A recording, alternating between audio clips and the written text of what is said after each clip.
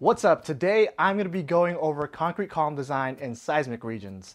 This is going to be according to ACI 318-14, members not part of the seismic force resisting system. I'm going to be providing you a simplified workflow worksheet and also some sample calcs and example calc along with uh, a worksheet that you can input uh, variables yourself, kind of like a spreadsheet if you know how to use MathCAD. So I will be going step by step on how we do this in the industry, and I'm going to try to simplify it as much as I can so you can see the bigger picture and what the code's actually trying to say. Because I know when I was first learning it, going through the codes, it kind of feel like a wild goose chase. I'd go through this code and then it'll make me go to another code section and then I couldn't interpret what the code was saying and then I think I figured it out. Then it makes me go to another portion of the code. So I'm trying to simplify all that. Hi, I'm Mat Picardal and I'm a licensed practicing civil engineer in the Southern California area, specializing in structural engineering design of buildings. And I also make structural engineering career videos similar to this one. Let's jump into today's content. Let's first go over some of the differences between non-seismic columns,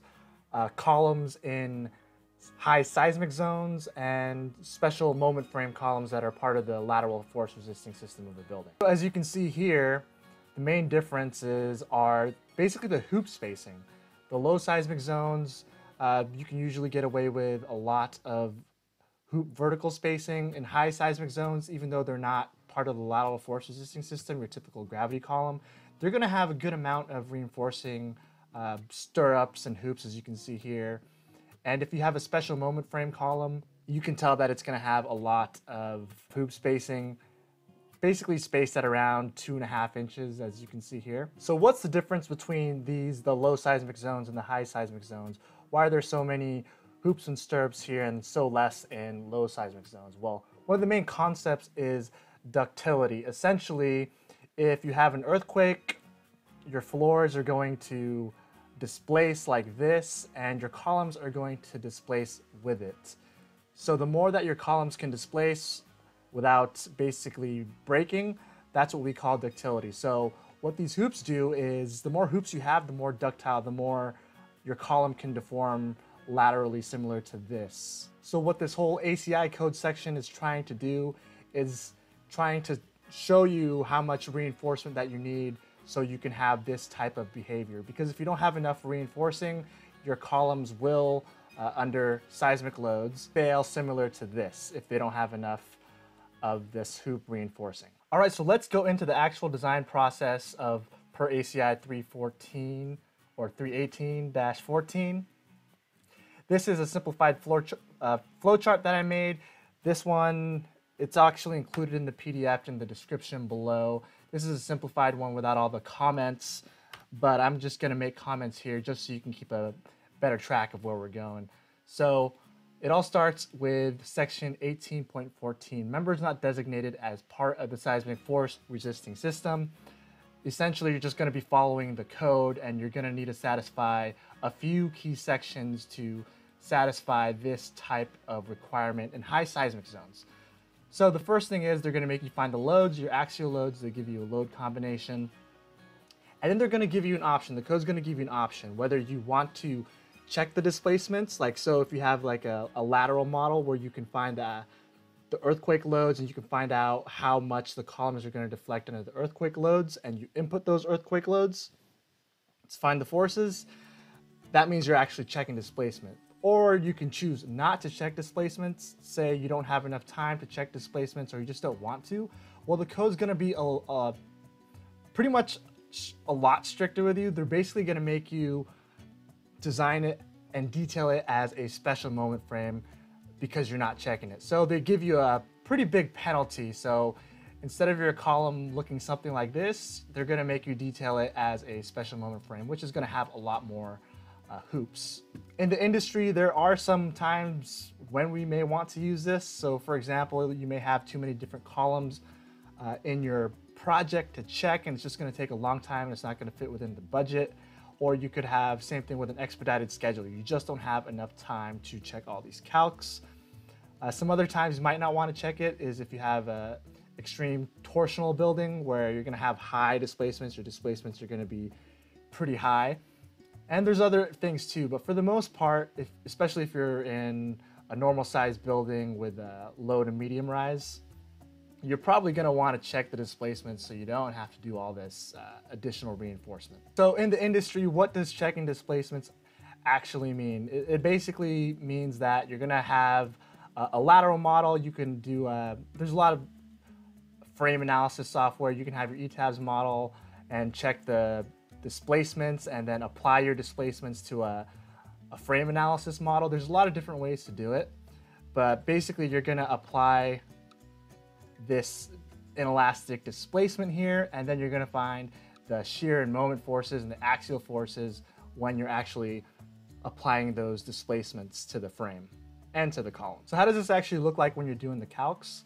I've included a worksheet here. It's a MathCAD file, but it's also in PDF. Uh, MathCAD's pretty easy. I have a link to it. So all these things that are in yellow, it's basically a spreadsheet that you can just edit the things that are in yellow uh, manual input. All the things that aren't in yellow are gonna be an automatic calculations. And I'm actually doing an example here. So in case you get lost with any of the numbers or whatnot, you can actually see what that means. So for example, when we go back to our checking the displacement model, uh, once we have our analysis model and we apply those inelastic displacements, we can find the moments and the shears and the axial forces in that particular column. So let's go back and let's say we have all those forces there. Now we are going to satisfy 18.14.3.2. So what is this? And like big picture, what is this trying to tell us what to do? So I just made these diagrams here so you can see what the actual code is actually saying. But for the gist of this, this code section is basically trying to tell you to, hey, check the strength, check the displacements. Basically, it's just a, a strength check on those imposed uh, moments, shears, and, and axial forces that are from the lateral displacements. And it also wants you to do some additional detailing in terms of longitudinal and transverse or hoop reinforcing. And it also wants to make sure that you're designing your column for the maximum probable moment and the design shear that can develop in the column. And they have another check just to make sure that your column's properly confined if it's a, a really heavily loaded column. So let's dig into these codes a little bit deeper just so we can understand where all this is coming from. So the first one that we have to satisfy is 18.14.3.2. We basically have to satisfy all these. This is the code section where it's telling you to check the strength and again, in the spreadsheet, I have all these uh, pretty much done for you. You have the moments and the PM interaction diagrams. Those are checked with the existing column as long as the, sh the shear checks in both directions. We have this P0 check here also that's required um, over here. So we do all these checks in this, this worksheet. So if you get lost or if you don't know what something is, this goes into pretty much all the numbers that uh, you need to go through in case you're not sure what the procedure is. So once you check this part, then you're gonna go to uh, part B, columns that satisfy, or columns that satisfy 18.7.441, 752, basically all these additional requirements is where I mean that the code's gonna make you jump around to different types of codes. But it's a lot more uh, intimidating than it is. You kind of just have to take it step by step. So let's just do that. So 7.4.1, what is this trying to make you do? This is just the longitudinal area. If you've taken your basics in concrete design class and you've designed a typical concrete column, you should already be familiar with this is. It's a pretty, what this is, it's a pretty common check. So not gonna go too deep into that, but 7.5.2, this goes into a lot more of the seismic detailing. What's different in this in seismic zones is they make you do a lot of 135 degree hooks and you have stricter spacing requirements in terms of where your ties can be or what the limit is on them. And these are pretty self-explanatory. If you go if you go and read through them, if you've taken the your concrete basics, you should know how to check these. The thing that you that stands out is this check, this PU check. Well, basically this act, it's basically if you have a heavily loaded column, it's going to restrict you even more. So your HX shall not exceed eight inches. Uh, HX is basically this, your spacing between your ties. And the other one, here we go. Every longitudinal bar around the perimeter of the column shall have lateral support provided by the corner hoop or by a seismic hook. So basically, you can't have these anymore. You can't have a 135 degree hook and a 90 degree hook. If you need to do this, you're gonna have to hook everything. Basically, everything's gonna be a 135 degree hook. Basically, this hook is for uh, seismic core confinement. If it's that's why they call them seismic hooks, basically. They, they basically confine the core more than if it was a, a 90 degree hook. So if you have a heavily loaded column, it's gonna make you do that. And it'll look something like this, where everything's about 135 degrees, for this column example at least. So the next part that we're gonna be checking is 18.7.6. We're basically gonna be checking the shear strength, uh, the design shear force by finding uh, MPR, the maximum probable flexural strength. So what does this all mean? It basically means that you're gonna have your column cross section like this, and what the code's gonna make you do is they're gonna make you find the maximum amount of moment that this guy can take. They're basically making you yield the column and design the stirrups for it. So what the procedure is, at least in the industry and the way I've done it, is basically making a PM interaction diagram with Fy equals 1.25 times Fy the, of the longitudinal steel. Why do they make you do that? Why do they make you make a PM interaction diagram with uh, a bumped up Fy. That should actually be Fy right there. So that's a typo. Like I said, they want you to yield the column. And and what happens is why why that 1.25 is there is because let's just say our typical longitudinal steel yield strength is 60 KSI. That's the specified yield strength that we specify in our drawings and what the manufacturers are going to do. So this is the absolute minimum that they can go to. So the manufacturers, the steel manufacturers, the fabricators, they're not gonna make this as their as their standard. They're gonna aim higher up because all these dots are, let's just say, if you if the manufacturer would aim for 60 KSI, they're gonna have things around there. These are the strengths that they're manufacturing. Some of them are gonna go below the standard, and these are gonna get rejected by us, the the structural engineer of record. So what they're actually going to be doing is they're going to aim something more like here. So they're actually, when we specify 60 KSI, they're actually going to aim something around here. And this is going to be the actual strength of the probable strength of the longitudinal steel once they're out there. And the stronger your longitudinal steel, steel is, the more capacity it has for bending. So that's why they make you do this other PM interaction diagram where your, your moment capacity and therefore your shear forces that you're going to be applying to the columns are actually going to be higher. So over here we found the axial force and make sure that the reduction factor is zero on your PM interaction diagram and that's how you find your maximum probable moment. And in the spreadsheet that's also shown, I believe over here. Yeah, so we find the maximum probable moments in both directions and we find the shear that's related to that. And that's based off of this diagram right here that, that that's provided in the ACI 314 or 318. And there's also another check that you need to check over here, but I'm not gonna go too much into it. Basically, they're saying if, if you have enough axial force, they're basically gonna say, hey, your concrete shear strength is gonna be zero. Uh, that's an easy enough check to do. That's also in the calcs if you wanna get into it. So once we satisfy 18.7.6, we have some more detailing requirements over here that we're trying to check. That's pretty self-explanatory. That's also in the calcs. I've also explained it here. But we're going to have to satisfy all these requirements too, just the spacing of the stirrups and hoops. And then finally, the last thing that we're going to be checking is part C, columns with factored axial gravity loads exceeding 0.35 P0 shall satisfy this one, which we just did. And they're also going to make us satisfy 18.75.7. This one, if you meet the, for a typical column, they're basically just saying that, hey, we don't want you to have so much concrete cover. I think they're saying like if you have, uh, was it four inches of cover that, or, or you can't exceed that, looking at our column, we have one and a half inch cover, so that's by default, and most columns are gonna meet that requirement. So most of the time, you don't really have to look too much into this.